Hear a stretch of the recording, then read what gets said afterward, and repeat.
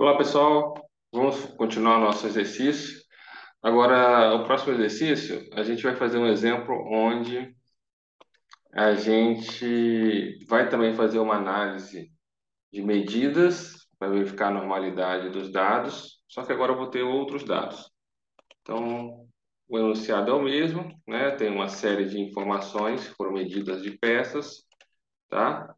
Só que não vai ser essas medidas aqui, não. Vou apagar, vou, na verdade eu vou criar um novo aqui, ó, um novo projeto. Vou colar aqui os dados, medidas de peças. Ok? Então eu vim aqui em Stat, estatística básica, teste de normalidade. Clico aqui, seleciono a coluna, jogo para minha variável, vou utilizar o similar ao Shapiro-Wilk e faço a análise. Olha só, esse aqui é o meu resultado, né? o gráfico de probabilidades, né? E olha o meu valor de P, vamos fazer uma análise aqui. Deixa eu pegar aqui, copiar aqui as hipóteses. Continua sendo o H0, os dados possuem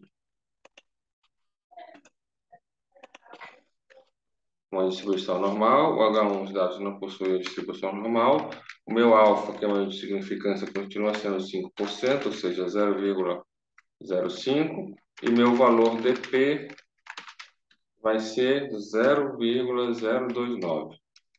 Então, como o valor dp é menor que o valor de alfa, certo?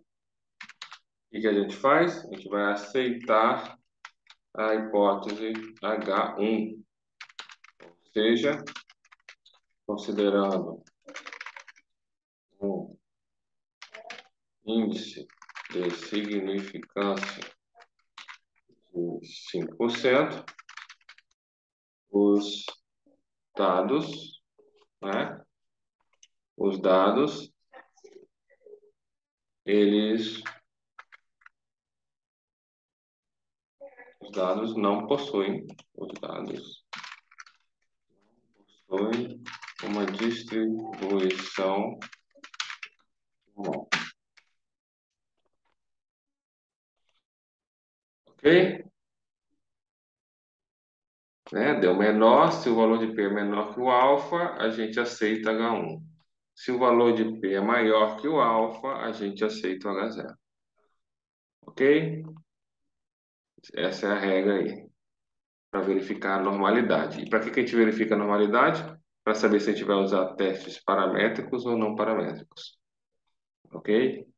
Um abraço e espero que estejam gostando aí do curso e até o próximo vídeo.